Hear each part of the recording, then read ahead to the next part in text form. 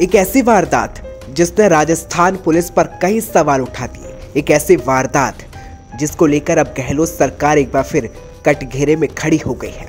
Alwar gangrape कांड जिसने निर्भया कांड की याद दिला दी। राजस्थान की जनता के साथ राजस्थान सरकार को भी हिला दिया।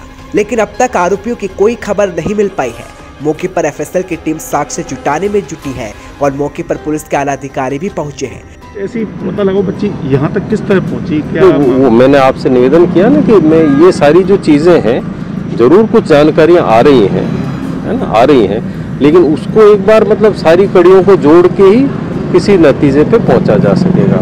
तो उसके लिए थोड़ा सा हमें उसी उसी कारण से मैं आया हूँ यहाँ पे। मैं वहाँ भी गया जहाँ पे मतलब वो बच्ची का घर का रास्ता मिलता है।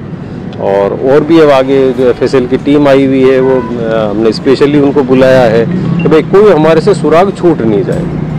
कोई भी सुराग वो है क्या अपना सीसीटीवी लगा हुआ है इधर? जी हाँ कुछ सीसीटीवी लगे तो उसी की तरह जो मैं आया हूँ ना और एसपी साहब भी रात को आए हाँ। तो हम यही कोशिश कर रहे हैं तो जहाँ से भी कोई सुराग मिल सके न मिल जाएगा। जहाँ से भी कोई सुराग अहम बात तो वो हम ढूँढने की कोशिश कर रहे हैं। सर एक अहम बात की घटना हुई उसके बाद अभी तक की जो इन्वेस्टिगेशन रही जी। किसी तरह की कोई नाकेबंदी में ड्रिंक एंड ड्राइव से रिलेटेड कोई मामले दर्ज हुए इतने घंटों के बीच में? इस तरह की कोई कार्रवाई हो? इसमें क्या है कि हमने अलग अलग टीम लगा रखी है। जैसे कुछ कुछ लोगों को हमने ये नाकाबंदी वाले दे रखा है कुछ को मान लो टोल पे कहाँ कौन सी गाड़ियाँ निकली है कुछ को सीसीटीवी के लिए। अब उनको एक साथ जोड़ने पे ही कोई नतीजा सामने आएगा है नहीं जैसे एनालिसिस में अभी तक जो डॉक्टर राकेश है उनका कहना है कि बस या जो भी वाहन था वो आके रुकी उसके बाद लड़की को छोड़ा गया। तो इससे ये नहीं, नहीं, अभी ऐसा कोई में टेरर नहीं है किसी तरह का पुलिस का। नहीं वो तो देखो आप ये जो आपका प्रश्न है ये तो एक बार इस मसले के सामने आने के बाद ही इसमें पता चलेगा एग्जैक्टली क्या हुआ है है ना? बाकी हम हमारी तरफ़ से पूरी कोशिश ये करेंगे कि ऐसे अपराधियों में पुलिस का बड़ा ज़बरदस्त टेरर रहे हमारी और प्राथमिकता भी हमारी है मेरे ख्याल से। और इसी वजह से आप ये देखिए कि रात से मतलब जिस दिन से सात बज के चालीस मिनट पे पुलिस को इसकी इत्तला मिली तब से लेके पुलिस अधीक्षक स्वयं पूरी रात इसको मॉनिटर करी। मैं भी पूरी रात जयपुर से जो है तक आप कैंप अलवर ही करेंगे? है? मामले की खुलासे तक अलवर करेंगे नहीं वो अब देखेंगे साहब वो तो अब इसका मैं आगे क्या करना है वो एक बार हम स्ट्रेटेजी बनाएँगे कि क्या करना चाहिए। और क्या इसके लिए महत्वपूर्ण है? क्या? आशाजनक कोई अपन को मिले ऐसे से तथ्य जिससे ज़रूर मिलेंगे साहब बिल्कुल मिलेंगे बिल्कुल मिलेंगे बिल्कुल मिलेंगे। लेकिन अब तक अपराधियों का कोई सुराग हाथ नहीं मिल पाया है जिसने मासूम के साथ इतनी भयानक दरिंदगी की घटना को अंजाम दिया। मैं जयपुर से जयपुर की जो स्टेट फोरेंसिक साइंस लेबोरेटरी है वहाँ हेडक्वार्टर से आया हूँ। और हमारे जो डायरेक्टर हैं डॉक्टर अजय शर्मा जी उनका विशेष उन्होंने टीम बनाई है इसके लिए। जिसके तहत मैं आया यहाँ पर खुद उन्होंने कहा कि एक सीनियर आदमी जाना चाहिए तो उन्होंने स्पेशली इसके लिए भेजा। और हम लोगों ने यहाँ पर आए तो सबसे पहले एसपी मैडम से भी मिले और उसके बाद यहाँ पर आए हैं जहाँ पर बॉडी मिली है। यहाँ पर हम लोगों ने अपने तरीके से जो फॉरेंसिक जाँच है वो फॉरेंसिक जाँच हम लोगों ने यहाँ पर किए हैं और अभी जाँच चल रही है तो ये सब कुछ अभी अंडर इन्वेस्टिगेशन है। नहीं गाड़ी तो देखिए इधर से रूट है तो तिजारा से अलवर की तरफ़। तो गाड़ी इधर से आई होगी और साइड लगा के इन्होंने बॉडी को यहाँ पर रखा होगा गिराया होगा। तो बाकी तो जाँच में सब कुछ क्लियर होगा। क्या कोई गाड़ी का नज़दीक इसके दिमाग नज़दीक आने को निशान या ऐसा कुछ रोकने के वो अभी देखे जा रहे हैं हम वो सब अभी सारी चीज़ें देखी जा रही हैं। हम्म। क्या आपको क्या लगता है कितने आदमी हो सकते हैं? क्या एक या ज़्यादा? अब गाड़ी अगर है तो एक से ज़्यादा होंगे। संभावना इसकी ज़्यादा बाइक- है। बाइक से भी डाल सकता है? बाइक से भी डाल सकता कुछ कह नहीं सकते अभी इसके बारे में। हम्म।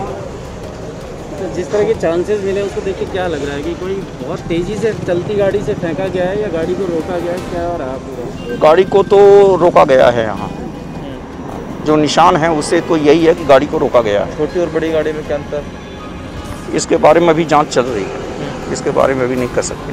राजस्थान सरकार कटखेरे में खड़ी है। पीड़िता के साथ ऐसी बर्बरता की गई कि जिसकी कहानी सुन हर कोई काँप उठा, जहाँ पीड़िता के जयपुर के एसएमएस अस्पताल में आठ डॉक्टर्स की टीम ने बड़ा ऑपरेशन किया। पीड़िता की हालत इस वक्त भी बेहद नाजुक है। अस्पताल में राजस्थान के मंत्रियों के दौरे हो रहे हैं, लेकिन अब तक आरोपी की गिरफ्तारी तक नहीं हो सकी। पीड़िता को जयपुर लाए जाने के बाद गहलोत सरकार के स्वास्थ्य मंत्री प्रसादी लाल मीणा उद्योग मंत्री शकुंतला रावत, महिला और बाल विकास मंत्री ममता भूपेश, महिला आयोग के अध्यक्ष संगीत बेनीवाल तक दौरे कर चुके हैं, लेकिन राजस्थान में बच्ची और महिलाओं से अत्याचार कम नहीं हो रहे। चौदह साल की बधिर नाबालिग के साथ, अलवर में न केवल गैंगरेप किया गया, बल्कि हैवानियत की सारी हदें पार की गई, जहाँ उसके प्राइवेट पार्ट्स को नुकीली चीज़ से नुकसान पहुँचाया गया और आरोपी मासूम को पटक कर फरार हो गए। और इस वक्त पीड़िता के माता पिता जयपुर में मौजूद हैं और दोनों ही मजदूर हैं। मूक बधिर बेटी के अलावा उन्हें एक बेटी और एक बेटा भी है। और ग्रामीणों की माने तो पीड़िता घर से लापता थी जिसे अंतिम बार दोपहर 12 बजे खेत के कच्चे रास्ते सड़क किनारे जाते देखा गया था और जिसके बाद उसको किसी ने नहीं देखा। और अब पीड़िता ज़िंदगी और मौत के बीच संघर्ष कर रही है। लेकिन सवाल है अलवर में इतना बड़ा रेप कांड होता है लेकिन अब तक पुलिस के हाथ खाली ही नज़र आ रहे हैं। अ, देखिए इसमें एक एसआईटी मेरे द्वारा तुरंत प्रभाव से घटित कर दी गई है। और इसमें हमारी छः टीमें हैं जो लगातार प्रयास कर रही हैं आरोपियों को चिन्हित करके उनको पकड़ने का। और बच्ची अभी जेके लॉन हॉस्पिटल जयपुर में रेफ़र की गई है, वहाँ पे उसका इलाज चल रहा है। बच्ची क्रिटिकल कंडीशन में है, लेकिन डॉक्टर्स का ये कहना है कि उनको उम्मीद है कि जल्दी ठीक हो जाएगी। सबसे ज़्यादा इम्पोर्टेंट हमारे लिए बच्ची की हेल्थ है और उन आरोपियों तक पहुँचना है। और हम हर संभव कोशिश कर रहे हैं, टेक्निकली, साइंटिफिकली हर तरीके से जयपुर से एक स्पेशल एफएसएल की टीम भी आई है जिससे भी दोबारा हम मौके का निरीक्षण और कोई भी ऐसा साक्ष्य जो अगर हमारी नज़र से रह गया हो तो वो अ, ले, लेकर उसको अगर वो हमारी मदद कर सके तो करके हमने उनको बुलाया है। मैम प्रथम दृष्टि से क्या पता चल रहा है क्या था? नहीं प्रथम दृष्टया इसमें डेफिनेटली दुष्कर्म का मामला है और हमने उसमें मुकदमा दर्ज करके तुरंत कार्रवाई शुरू कर दी है।